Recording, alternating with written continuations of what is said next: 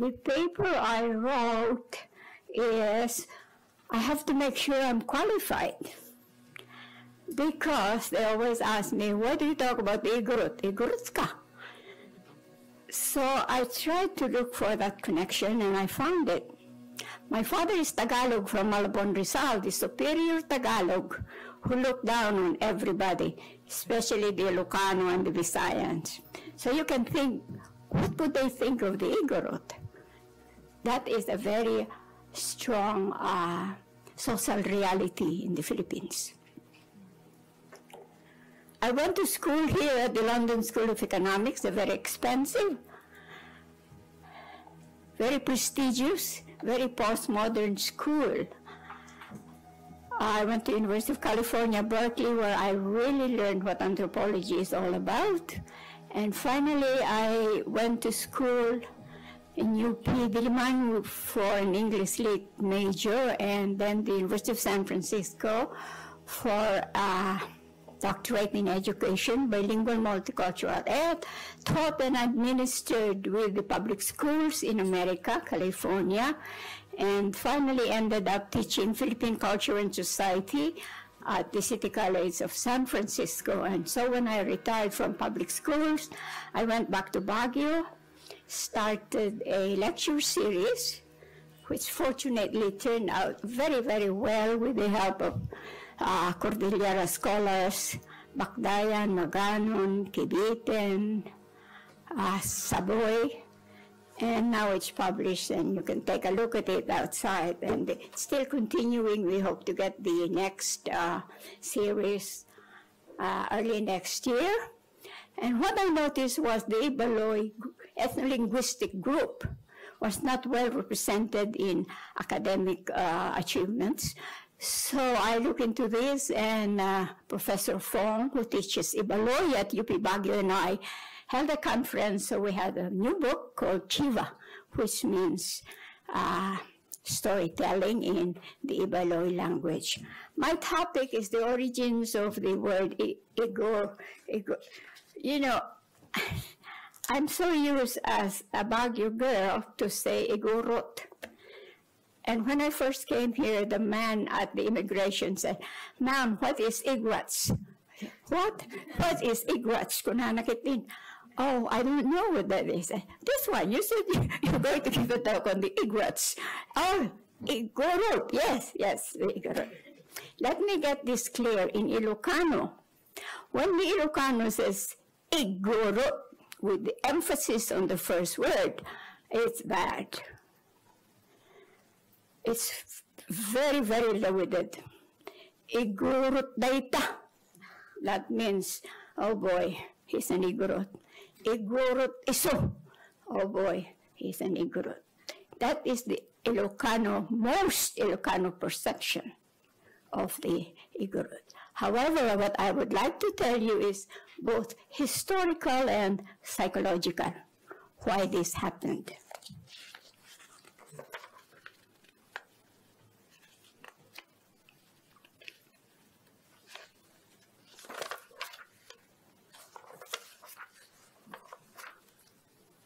There are three parts of my paper.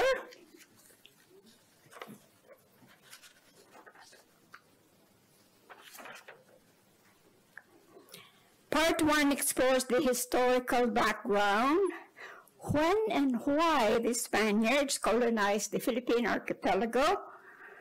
Coloni colonization means the domination of one country over another territory or territories. And one of this long colonization of the archipelago meant the interaction of the Spaniards with the natives. The beginning of the word Igorot actually started way, way back in the 1500 when the Philippines was discovered. At that time, historically, Spain and Portugal were in competition in search of the spice trade in the Moluccas. Moluccas is in the Celebes Sea, part of Indonesia, uh, below the Philippines, and uh, just above New Guinea.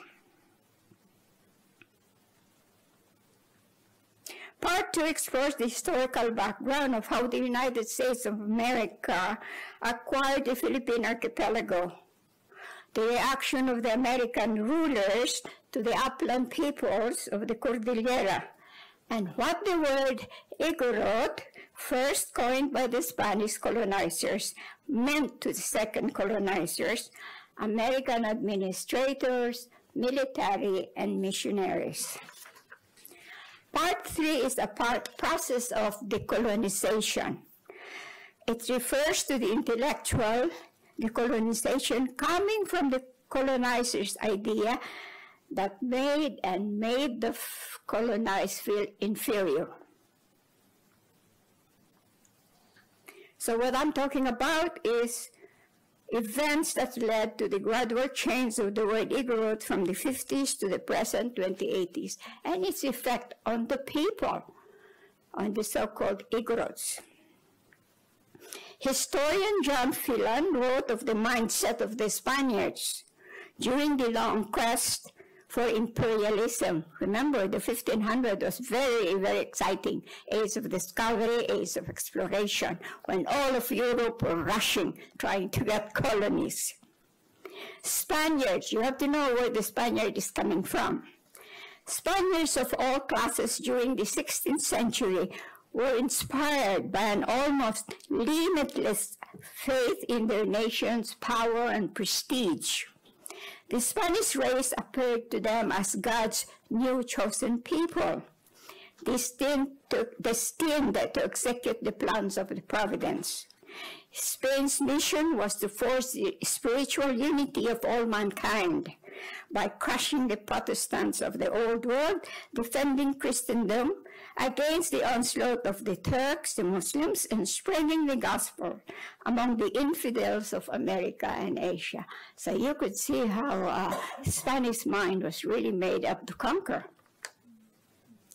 It was the search for spice. The spice trade was a very lucrative business. First, the Portuguese were there and they made a lot economically it made them really very powerful because they got a lot of funds for selling the spices in Europe. The Spice Island, as I told you, is in the Moluccas, part of Indonesia, and just above New Guinea. The Spaniards somehow had to find a way to get to, to the Moluccas, but what happened was Ferdinand Magellan, who you know as the person who discovered the Philippines, crossed the straits that he named formerly Estrecho de Todos los Santos to Estrecho de Magallanes, which is located at the southern Chile, separating South America to the north and Tierra del Fuego to the south. This is the most important passageway from the Atlantic to the Pacific Ocean. In 1490, the Ottoman Empire took Constantinople and controlled the spice trade route that existed at that time. Western Europeans' reaction to this event was no, they did not want to depend on a non Christian power for the lucrative trade with the East. Thus, the new search started, and that is how Magellan entered in the Philippine archipelago.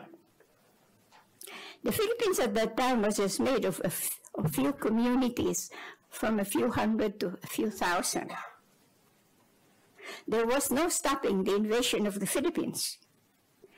So eventually, Spanish hegemony was established. As you know, invasion is never accepted easily. This means that the that the that practices that invaders put in place will be a heavy burden to the invaded. Spain, while in competition with the Dutch, made the Filipinos bore a great deal in defending the Philippine archipelago. Aside from that, also is the imposition of beliefs. The Spanish occupation had emphasized the conversion of Filipinos to become Christians. And this, by the way, was their most successful venture because 90% became Catholics, Filipinos. And that's also true as of today. The lowlands of the archipelago was first conquered, but the attempt to up to the upland proved very difficult for the Spaniards. Why? Because the mountaineers put up a strong resistance.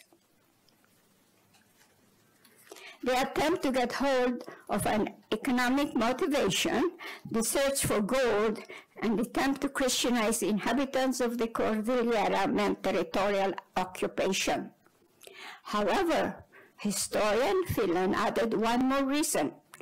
Aside from the inhabitants' defense of their territory, this has to do with financing the expedition. In the face of the uncompromising hostility of the mountaineers and the resistance of Manila to underwrite the expenses of a prolonged costly territorial occupation, various military expeditions expeditions in 1591, 1608, 1635 proved fruitless. During the revolution at the end of the Spanish regime, Englishman John Foreman remarked, the feeble efforts displayed to conquer them only serve to demonstrate the impotence of the Europeans the impotence of the Europeans reminds me of Professor Dundes, a Freudian, but this is coming from an Englishman. William Henry Scott, Anglican lay missionary and educator, wrote in his article, The Origin of the Word Igorot said, as far as the meaning of the word Igorot itself, Dr. Trinidad Pardo de an eminent Tagalog scholar at the end of the century, stated that it was really made up of the word gulot, gulot, meaning mountain chain, and then the prefix I, L, meaning people of, or it was composed of the root word gulot, meaning mountain chain, and the prefix L, meaning people of or dwellers in. Scott explained how the word gulut eventually became a gurut. The word gulut therefore appears to be perfectly indigenous Filipino in origin, and this form that first appeared in Spanish records. The substitution of the letter R for L of the word did not become popular until the 18th century when Antonio Mozo, who spelled it Igolo himself in his 1763 Noticia Historico Natural commented, corrupted the words they were wont to call it Igorot. Scott made the comment that there is no record that the people in question themselves Igorots. So you do have to get that uh, straight. It, this word did not come from the people, from the mountaineers, okay? they they call themselves according to their ili. So if they're from an ili of Bontoc, Sagada, Kalinga, whatever, that's what they call them. They didn't call themselves Igorots. The Americans' authority, however, did also find that out, that they did not call themselves Igorot, they called themselves according to their village or the Ili. In 1885, uh, the exposition. Actually, uh, Professor uh, Amores explained what was going on, like the St. Louis Fair, so you know about that, uh, and what it meant. Finally, I should go to Fray, Fray or uh, Father Angel Perez. He wrote a book called Igorotes Geográfico y Etnográfico sobre algunos distritos del norte Luzonas were published in 1902.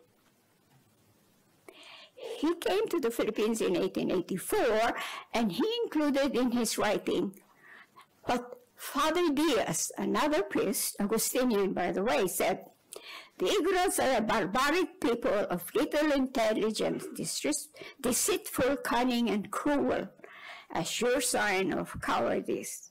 They are little constant in their false religions, but they are very superstitious. They believe in divination. They practice bigamy, marrying many women. They cheat and kill with great skill.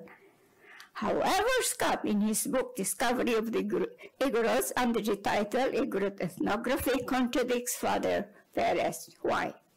He said, Igorots was known among all non-Igorot observers for strict social adherence to monogamy and all their stern death sentence for adultery or even intimidations of adultery except to Casimiro Diaz, who practiced what he said was a good beginning. At the Madrid Zoological Exposition, where there were Igorots exhibited with others, Dr. Jose Rizal was the one who made a protest. He was, and he, this is what he said in a letter to Blumentritt. I wish they would all die and suffer no more. Let the Philippines forget that her sons have been treated like this to be exhibited and ridiculed with animals and plants. Remember, it's a zoolog zoological exhibition. The mindset of the Americans and the uh, Spaniards showed a similarity. However, their methods of employing their aims, there was a big difference. The Spaniards, of course, were only successful in terms of the religious, of the introduction of religion, Christianity, which, by the way, Christianity means civilized, and if you're not a Christian, you're a pagan, then you're uncivilized. You have to remember that distinction. Who is civilized and who is uncivilized? The United States was emerging as a world power in the beginning of the century, and uh, in a battle with the Spaniards, easily took the Philippines, and Philippines was easily an annexed at the Treaty of Paris. Here is American imperialism challenging Philippine nationalism. And the Philippine-American War was a brutal war, something that we really are not aware of, but it was brutal. By the time the uh, Americans took over the Philippines, the word Igorot had native connotations. This is the perception first of some Spaniards, but with the colonizers, second colonizers. One of them was still that Professor Amores said, when he went to the uh, Philippines, he said, uh, he said that the uh, Bontoc Igorots were honest and truthful. So he was on the positive side of uh, defining what an Igorot is. He also mentioned the shortcomings of the lowland, and this is why he was so uh, gung ho on separating the two groups, lowlanders and the uh, uplanders. One of the Americans who was very successful was Jeff Gallman. He was brave, he was uh, a fighter, and he was honest, and he was a strict disciplinarian. And in American view of the Philippines, what came out was Jeff Gallman, up to the present, is quite a, a character they always referred to him as uh, mga ni Gallman, meaning leave it to Gallman. He'll, he'll, he'll solve it for you very well. Finally, I'd like to talk about the lowland perception, and this will not take long because my time is almost up. One of the most devastating events was when a very well-known journalist, diplomat from Camiling, Tarlac, said in his book, Mother America, the Igorots are not Filipinos. Really, that was very uh, a very strong statement. Of course, people objected to that. The other one was uh, Baguio ex-mayor who said, the Igoros are dirty, they urinate everywhere, they are deceitful, you have to be careful. One of the worst things that happened is when a UP graduate, a female lowlander of media popularity said, I am not an Igorot, I am a human being. So you could see that the uh, uh, the uh, stigma, the uh, putting down of Igorots continued with the lowlanders. The designation of Igorots as pagans, uncivilized, immoral, etc., etc., apparently added more negative connotations to present uh, non-Igorots. By the way, when I'm talking about Igorots, I'm talking of the inhabitants of Benguet. I'm confining that, and also to the mountain province. In the in Benguet, that would be the Ibaloy, the Kankanaey, the Karanguya, and in the mountain province, it would be Kankanaey speakers and others.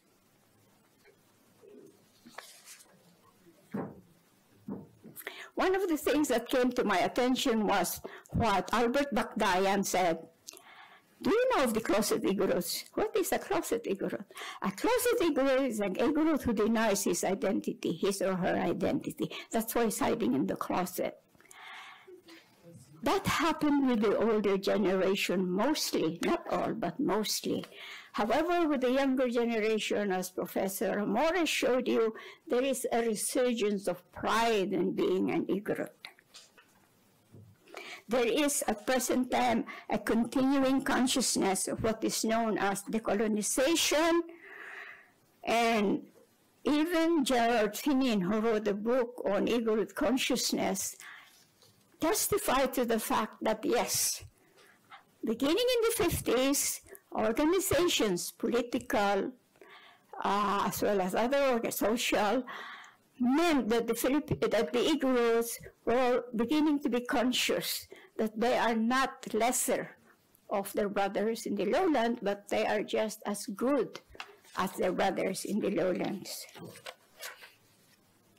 Now it is now 2018, and uh, what can we say about the status of the Igorot? In the city of Baguio, where I was born, I grew up, in the 50s, the BIBAK, uh, that uh, so Professor Amores also mentioned, became very active, they became very political.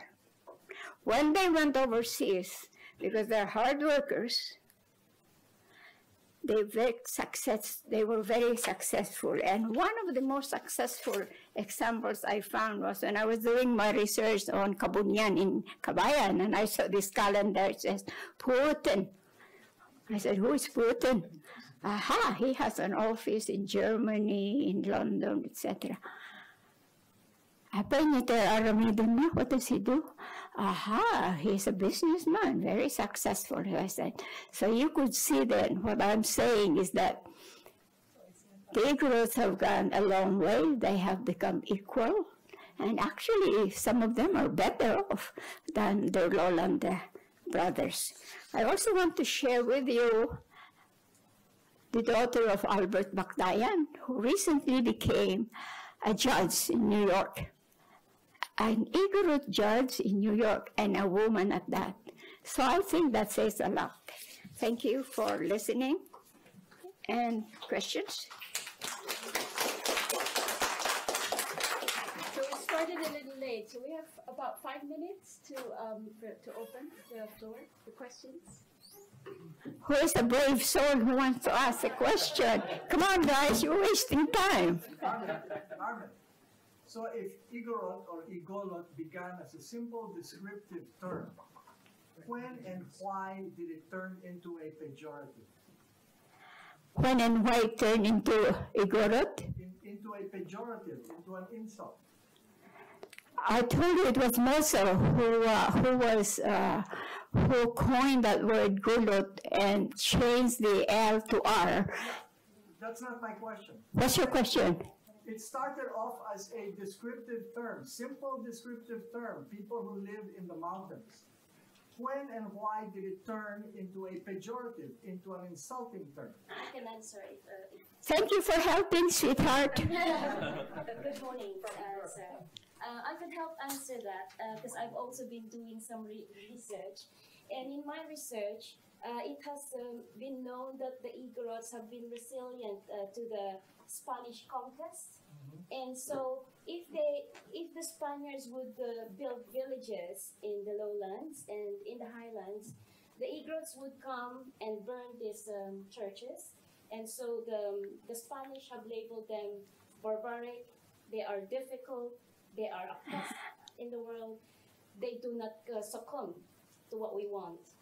So the term until now, uh, a bit, um, it has stick a little bit because, um, also because when they were going around the Cordilleras looking for the gold that they found in the lowlands, they asked the lowlanders, where is your gold coming from?